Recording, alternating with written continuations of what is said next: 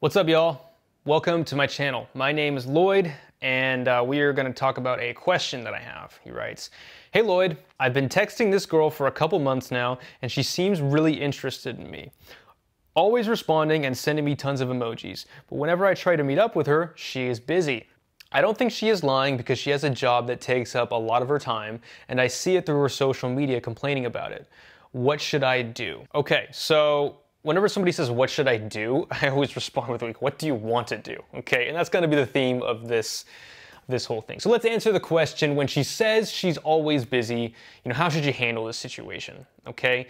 And my answer to you is that if she's always busy, you have to ask yourself if you're down for this kind of life with her. I'll tell you a little story. A long time ago, when I first started going out, like when I was 23, I think I was 23, I started, I met this girl at a Halloween party. Very, very sexy girl.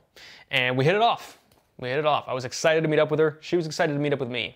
Okay, we, we made plans, and then at the last minute, she was like, hey, listen, I'm really sorry. I have to study for these midterms. I can't make it. You know? I'm like, no worries. Cool, let's go out another time. So then we text back and forth. I think we even talked on the phone. Um, and she was like, uh, you know, I basically said, hey, let's meet up, you know, the next week. Okay. So we're about to meet up. And two days before, she's like, hey, listen, I'm sorry. Medical school is really killing me. If I don't spend time and study for these uh, exams, I'm not going to pass and I need to get my degree. Like, this is my life. I'm like, dude, that's, that's totally okay.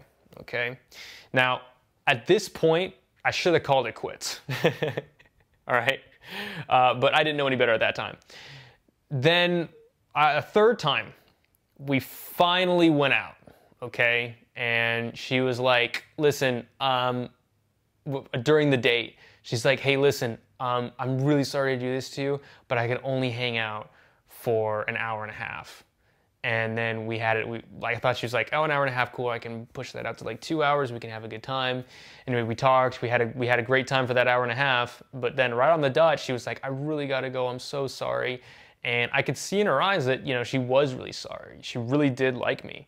Um, and then she left. And then after that, I was like, you know, I've spent all this time trying to go out with this girl to get an hour and a half long date that, let's be real, she's not going to graduate from medical school for another year and a half. Then after that, she's going to become a doctor. And, you know, when is this going to end? The answer, probably never, okay? Our lifestyles didn't mix up. Now let's fast forward to six years later. No, not six years later.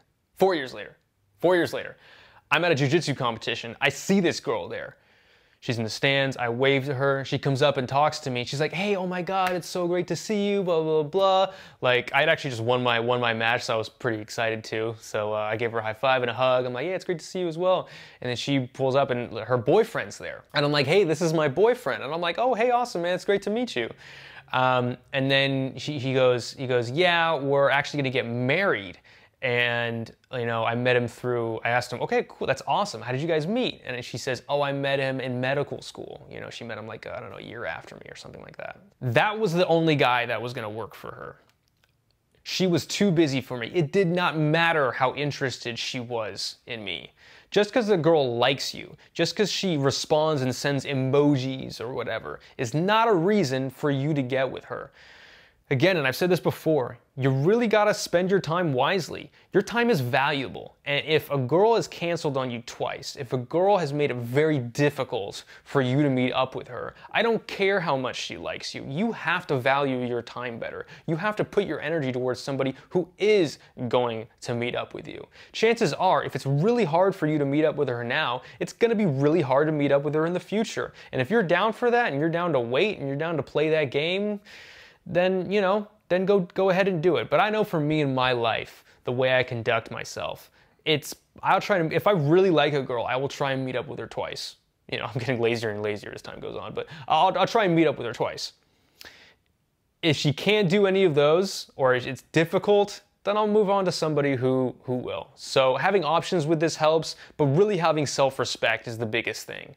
You know, you want to go after people that are going to give you the time of day. And you've been talking to this girl for two months. You know, ask yourself, if is this worth it? Is it worth two months of my time and energy and mental effort that I could be spending on somebody else who's not going to be giving me these problems? Is it worth it? And if the answer is yes, then yeah, dude, continue texting her and try and find a time that she's free. You know, there's some certain things that you can do. But in my opinion, if she's always busy, whether or not she likes you, and by the way, that's the key because women will lie about this. They will say they're busy when they're not interested. They just maybe they want the attention, maybe they want uh, they just want to be texting a guy. They don't want to be rude. I don't know what the reason is. The reason is irrelevant. What matters is what you want. So ask yourself that question, and I guarantee you, if you have any sort of a confidence or belief in yourself, you know that you can find a girl who's going to be more available for you. Okay, something time is time is the most valuable resource a man can give, really that anybody can give, and you you should spend it with the people that are going to give that back to you. Cool. Well. Uh, Thanks for watching, you guys. This is something that I work on with my clients all the time, but if you got a lot out of it in this video, please subscribe. Thanks for watching, and good luck out there.